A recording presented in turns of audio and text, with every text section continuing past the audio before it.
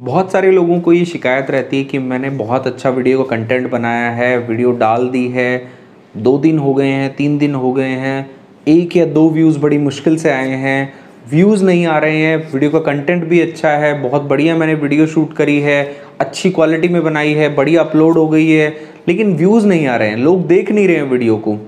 बहुत ज़्यादा फ्रस्ट्रेशन में आ जाते हैं कई लोग तो बहुत ज़्यादा लोग सोचने लग जाते हैं और ऐसा भी लगने लग जाता है कि अब मैं वीडियो नहीं बनाऊँगा, मेरी वीडियोस पे व्यूज़ ही नहीं आ रहे हैं।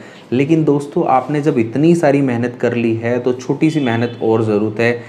अच्छा मैं आपसे पूछता हूँ, आप यूट्यूब पर वीडियो सर्च करते हैं, मान लीजिए कुछ भी आपने सर्च किया कि how to apply for e pass अब आप सारे वीडियोस तो नहीं देखते हैं, जैसे आप सर्च करते हैं दस, बीस, तीस, चालीस, पचास, बहुत लंबी लिस्ट निकल के आती है यूट्यूब की तरफ़ से। आप कौन सा वीडियो देखते हैं? खुद सोचिए।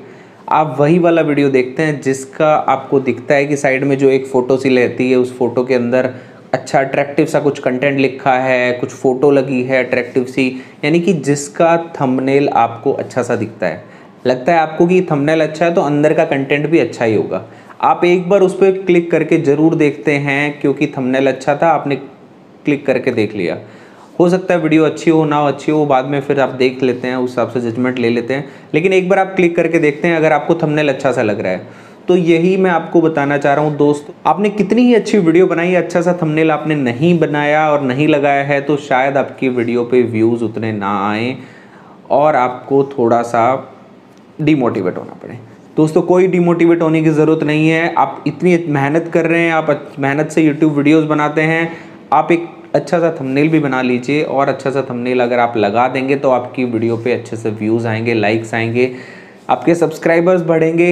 इस वीडियो में हम बताने वाले हैं कि आप कैसे एच डी थंबनेल बना सकते हैं। बहुत सिंपल है वेरी सिंपल स्टेप्स में आपको समझाने वाला हूँ। आप पहली बार में ही सीख जाएँगे अच्छा सा थंबनेल बनाना और उसके बाद आप अपनी वीडियोस पे अच्छा सा थंबनेल बनाएँगे। सो रिक्वेस्ट करता हूँ वीडियो को लास्ट तक ज़रूर देखिए, क्योंकि इसके अंदर करने वाले हैं स्टेप बाय स्टेप कैसे आप थंबनेल बनाएँ। पूरा वीडियो आप लास्ट तक देखेंगे तो आप एक ही बार में सीख जाएँगे, नहीं तो बार बार फिर आपको नंबर ऑफ़ वीडियो सर्च करनी पड़ेगी। और मैं आपसे एक बात का वादा करता हूँ, इस वीडियो को देखने के बाद आपको किसी और वीडियो को देखने की ज़रूरत नहीं पड़ेगी कि थंबनेल को कैसे बनाना है यूट्यूब वीडियोज़ के लिए। ये मेरा आपसे वादा है। दोस्तों, आपसे रिक्वेस्ट करता हूँ, अगर आप मेरे चैनल पर नए हैं, अभी तक सब्सक्राइब नहीं किया है तो प्लीज़ चैनल को सब्सक्राइब करके मुझे सपोर्ट करें। अगर आपने ऑलरेडी सब्सक्राइब किया हुआ है तो तह दिल से आपको शुक्रिया। दोस्तों, मैं हूँ दीपक, आपका स्वागत है दीपक टॉक्स में। आइए शुरू करते हैं वीडियो दोस्तों, बहुत सारे यूट्यूबर्स बहुत सारे तरह के ऐप यूज़ करते हैं मार्केट में काफ़ी अवेलेबल है। ये जो ऐप है पिक्सल लैब का मैं यूज़ करने वाला हूँ। स्क्रीन पर आप देख रहे हैं, एक इमेज जैसी दिखाई दे रही है, ये आपका फॉर्मेट है। अब आपको यूट्यूब थंबनेल बनाना है तो यहाँ से तीन डॉट पर क्लिक करके हम लोग सेलेक्ट कर लेंगे एक कस्टम साइज़ यानी कि हमें यूट्यूब थंबनेल बनाना है, यहाँ से सेलेक्ट करेंगे। जैसे सेलेक्ट करेंगे, हमें दिखा रहा है यूट्यूब थंबनेल पे क्लिक करते ही ट्वेल्व एटी सेवन ट्वेंटी का ये रेशियो रहेगा सिक्सटीन टू नाइन का एस्पेक्ट रेशियो आपको पता भी है। इस पर ओके करते ही ये आपकी स्क्रीन आ गई, यानी कि ये यूट्यूब थंबनेल बनने वाला है आपका, ये स्क्रीन है। अब इसके अंदर तीन मेजर चीज़ें हैं, एक आपका बैकग्राउंड एक है आपका टेक्स्ट जो आप लिखते हैं, दूसरा आप इसके अंदर कोई भी इमेज डालते हैं। तीन ही चीज़ें आपको सीखनी है, बड़ा ही सिंपल है स्टार्ट करते हैं बैकग्राउंड से। ये जो नीचे आप राइट में देख रहे हैं, दो बॉक्स से बने हुए, ये आपके बैकग्राउंड की एडिटिंग के लिए है।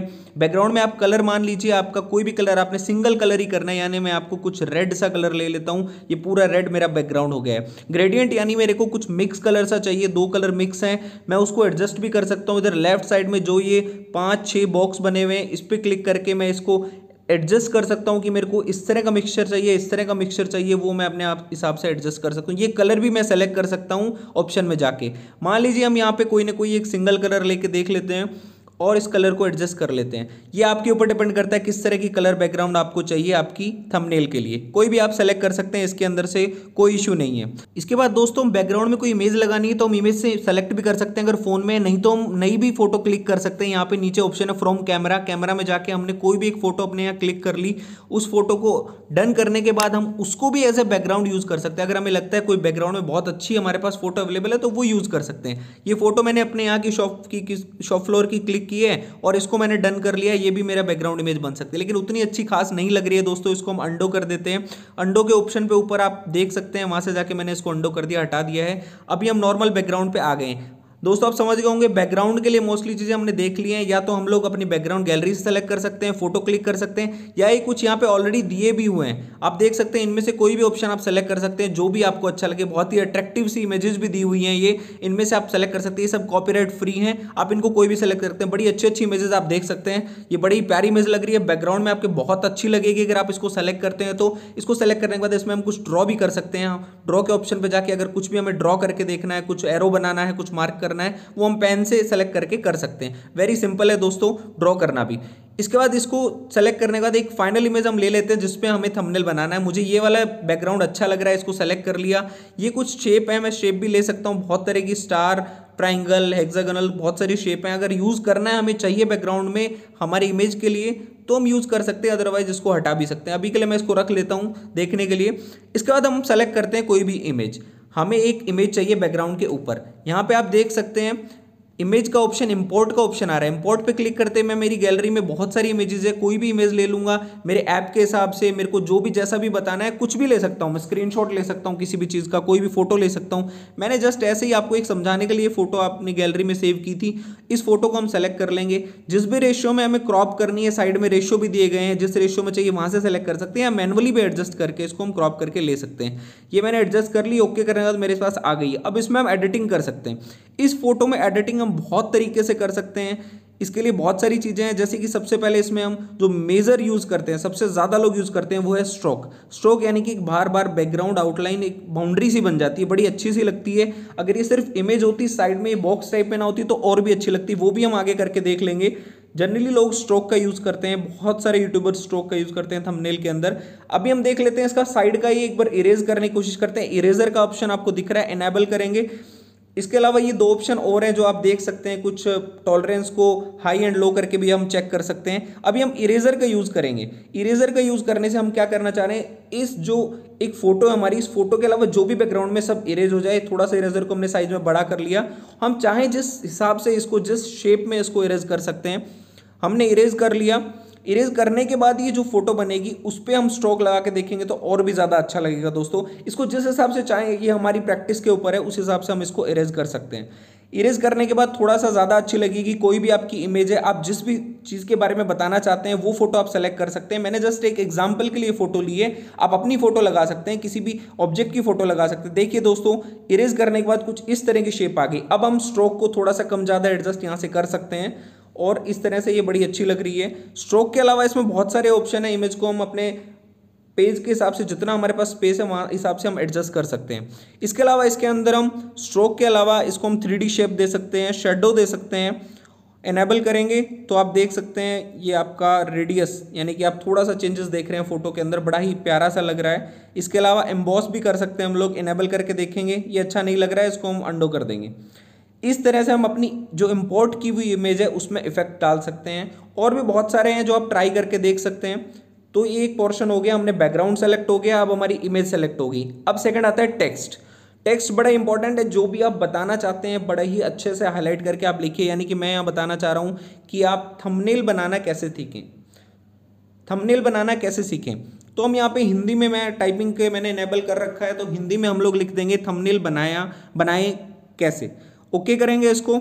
इसको हम लोग साइज़ एडजस्ट कर सकते हैं दोस्तों। थंबनेल बनाए जो हमने लिखा है, इसको हम साइज़ एडजस्ट करने के लिए स्टाइल्स ऑलरेडी आपके पास कुछ होंगी, वहाँ से डायरेक्ट भी कर सकते हैं मैनुअली भी आप कर सकते हैं। जैसे ही आप यहाँ पे जाएँगे साइज़ पे साइज़ पे क्लिक करने के बाद इसके साइज़ को आप बड़ा या छोटा कर सकते हैं यहाँ से, या फिर मैनुअली इस कॉर्नर में जो पॉइंट डॉट है उसको पकड़ के आप स्ट्रेच करके भी साइज़ ज़्यादा कम कर सकते हैं। ये हो गई साइज़ की बात, इसके बाद आते हैं इसके अंदर हम, इसको हम लोग बोल्ड कर सकते हैं टैलिक कर सकते हैं अंडरलाइन कर सकते हैं, ये बेसिक फ़ंक्शन है, आपको पता है। इसके बाद सबसे इंपॉर्टेंट आता है, इसको हम लोग कर्व करना है। अगर किसी चीज़ को कर्व करके देखना है हमें तो इसकी साइज़ को हम लोग एंगल में, किसी भी एंगल में बेंड कर सकते हैं। वो हमें, जैसा हमें डिज़ाइन चाहिए उस सबसे एडजस्ट कर सकते हैं। अभी हमें नहीं चाहिए, हम लोग इसको एज इट इज़ रखेंगे थोड़ा सा करके देख लेते हैं एक बार सिर्फ़। इसके बाद हम इसमें हम स्ट्रोक डाल के देखते हैं। थ्री शेप डाल के देख लेते हैं। थ्री के बाद अब हम इसमें स्ट्रोक के अलावा अब इसमें सबसे इंपॉर्टेंट जो चीज़ है, एक बार हम इसमें ये ब्लेंडिंग हटा देते हैं, जो हमने बेंडिंग की थी सॉरी इसके बाद हम इसमें करके देखते हैं हमारा ऑफसेट ये भी अच्छा नहीं लग रहा है रिफ्लेक्शन भी। ये रिफ्लेक्शन अच्छा नहीं लग रहा है, इसको भी अंडो कर लेते हैं। इसका कलर चेंज करके देखते हैं दोस्तों। कलर चेंज करने के बाद में हम इसका कोई भी कलर ले सकते हैं, जैसा आपने बैकग्राउंड में किया था, वैसा यहाँ भी आप चाहे तो ड्यूल कलर भी ले सकते हैं, चाहे तो सिंगल कलर भी ले सकते हैं। ज़्यादातर ड्यूल कलर लेंगे तो अच्छा लगता है। मैं यहाँ पे एक बार सिंगल कलर लेके, मैंने मान लीजिए पिंक कलर सेलेक्ट कर लीजिए। मैंने मान लीजिए पिंक कलर सेलेक्ट कर लिया, उसको मैं डन कर दूँगा। देखिए, काफ़ी अच्छा लग रहा है। अब एक और टेक्स्ट ले लेते हैं। नीचे एक और टेक्स्ट को एडिट करेंगे हम लोग। थंबनेल बनाए, लिख लिया। अब यहाँ पे हम लिखने वाले हैं कि अपने मोबाइल में ही कैसे बनाएँ। यानी कि अपने मोबाइल में ही मैंने टाइप कर लिया हिंदी में, इसको अब हम, यही सारी चीज़ें हम इसके साथ करेंगे। इसकी एडिटिंग कर सकते हैं, इस टेक्स्ट की भी, इस टेक्स्ट के अंदर हम कलर दे सकते हैं, इसका साइज़ एडजस्ट कर सकते हैं, इसको स्ट्रॉक दे सकते हैं, इसको शेडो दे सकते हैं, इसको रिफ्लेक्शन दे सकते हैं, इसको एम्बॉस कर सकते हैं। ये सारे फीचर जैसे ही आप एक बार ट्राई करके देखेंगे, आपको क्लियर हो जाएगा कि ये वाले फीचर को यूज़ करूँगा तो मेरा टेक्स्ट कैसा दिखेगा। देखिए दोस्तों, अभी तक आपने सिर्फ़ सिंपल लिखा था। जैसे इन फीचर का यूज़ करेंगे, आपका ये लिखा हुआ टेक्स्ट ही बहुत अच्छा अट्रैक्टिव सा नज़र आएगा। देखिए, अब आपका धीरे धीरे ग्लो आने लग गया है इस फ़ोन के अंदर भी। इस तरह के फीचर्स बेसिक फीचर्स हैं, आप यूज़ करके देख सकते हैं। इसके बाद दोस्तों, ये सारे फीचर यूज़ करने के बाद इसमें मैं थ्री इफ़ेक्ट डाल के देखता हूँ। थ्री इफ़ेक्ट डालने के बाद बहुत अच्छा लग रहा है ये। इसके अलावा इसके अंदर थ्री शेडो भी डाल सकते हैं, इसका साइज़ एडजस्ट कर लेते हैं। ऑलमोस्ट हमने एडिटिंग इसकी कर ली। और भी चाहें तो बहुत कुछ कर सकते हैं। इस ऐप के अंदर काफ़ी कुछ है। अब हम अपना एक और टेक्स्ट नीचे लिख लेते हैं। जैसे हम वहाँ क्लिक करेंगे प्लस पे साइन पे क्लिक करने के बाद हमारे टैक्स एडजस्ट कर सकते हैं। इसको हम टिल्ट भी कर सकते हैं। इसी नीचे जो आप दिख रहे हैं, एक छोटी सी कर्व इसको पकड़ के हम जिस भी एंगल में चाहे इस टेक्स्ट को लिख सकते हैं। अब यहाँ हम लिख लेते हैं कि आसान स्टेप्स में, आसान स्टेप्स में इसको हमने टाइप कर लिया डन करेंगे ओके करने के बाद सेम उसी वे में हम एडिटिंग कर लेंगे जैसे हमने पहले की थी। इसमें भी हम इफ़ेक्ट डाल के देखेंगे। हमने आसान स्टेप्स में लिख दिया है। सबसे पहले इसके अंदर हम कलर एडजस्ट करेंगे। सबसे पहले हम कलर फिल कर देंगे। ये कलर मैंने सेलेक्ट कर लिया, काफ़ी अच्छा लग रहा है। इसके बाद हम इसमें जाएँगे और बाकी स्ट्रोक को इनेबल कर देंगे। स्ट्रोक इनेबल करने के बाद और भी अच्छा लग रहा है। और चाहे तो बाकी फीचर्स को भी यूज़ कर सकते हैं। बड़े ही सिंपल है, आपने ऑलरेडी देख लिए हैं।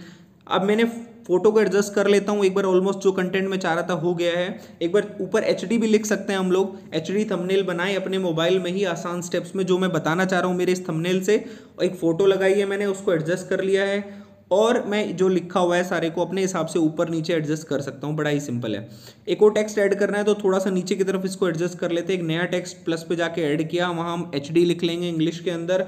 एचडी टाइप करेंगे और उसको भी हम एडजस्ट कर सकते हैं। दोस्तों, बहुत ही सिंपल है। यानी कि यहाँ तीन ही चीज़ें जो सबसे इंपॉर्टेंट है। आपने टेक्स्ट बनाना सीख लिया टेक्स्ट की एडिटिंग करना सीख लिया। दूसरा, आपने जो फ़ोटो इंपोर्ट करके डाली है, उसकी एडिटिंग करना सीख लिया। तीसरा, आपका है बैकग्राउंड तीन चीज़ें ही आपको सीखनी है। तीनों आने के बाद आपका थंबनेल परफेक्टली रेडी हो जाएगा। कोई बहुत बड़ी, लंबी, चौड़ी बात नहीं है। सिंपल से फीचर्स हैं, एक बार करेंगे आपको याद हो जाएँगे कि हाँ स्ट्रोक में क्या होता है शेडो में क्या होता है एम्बॉस में क्या होता है बोल्ड में क्या होगा कलर कैसे एडजस्ट करने हैं, बहुत सिंपली आप सीख जाएँगे। आप देख सकते हैं, मैंने सिंपली ये वर्ड्स को लिख दिया है फ़ोटो को एडजस्ट कर दिया है। ये आप साइड में देख सकते हैं, इस तरह के आप बैकग्राउंड ले सकते थे, लेकिन हमने चूँकि वो वाला सेलेक्ट कर लिया है। अब आप इसको सेव एज ए प्रोजेक्ट या सेव एज ए इमेज कर सकते हैं। आप शेयर के बटन पर क्लिक करेंगे और यहाँ से फॉर्मेट हम लोग जेपीजी के बजाय पीएनजी सेलेक्ट करेंगे। पीएनजी में इमेज की क्वालिटी एचडी रहती है, ये आप ध्यान रखिएगा। जैसे आप सेव क्लिक करेंगे, आपकी गैलरी के अंदर आपकी फ़ोटो सेव हो गई है। आप अपनी गैलरी में जाके चेक कर सकते हैं, आपका थंबनेल बिल्कुल रेडी है। आप अपलोड कर सकते हैं यूट्यूब पर। बहुत ही एचडी क्वालिटी का आपका थंबनेल है और आप इससे भी ज़्यादा अच्छा थंबनेल बना सकते हैं। बहुत ही आसान स्टेप्स में आप सीख सकते हैं। तो इस वीडियो में हमने जाना कि आप एक अच्छा थंबनेल कैसे बना सकते हैं। ये मैंने एक करके जस्ट दिखाया आपको। आप अपनी क्रिएटिव आप जितने क्रिएटिव हो, उतना ट्राई करके एक दो बार में आपकी प्रैक्टिस हो जाएगी। बहुत अच्छा थंबनेल आप बना पाएँगे। शायद मैंने बनाया, उससे भी बहुत अच्छा। तो आप प्रैक्टिस करते रहिएगा। एक दो बार में आपको थंबनेल अच्छा बनाना आ जाएगा। फिर भी आप लोगों को किसी तरह की कोई दिक्कत आती है प्रॉब्लम आती है, मुझे कमेंट बॉक्स में ज़रूर बताएँ। डेफिनेटली मैं आपके कमेंट का रिप्लाई करूँगा। और दोस्तों, अगर आपको वीडियो अच्छी लगी तो अपनी फैमिली और फ्रेंड्स में शेयर करें ताकि वो लोग भी इस तरह की अच्छी वीडियोज़ के थंबनेल बना सकें। वेरी मच दोस्तों. Thank you thank you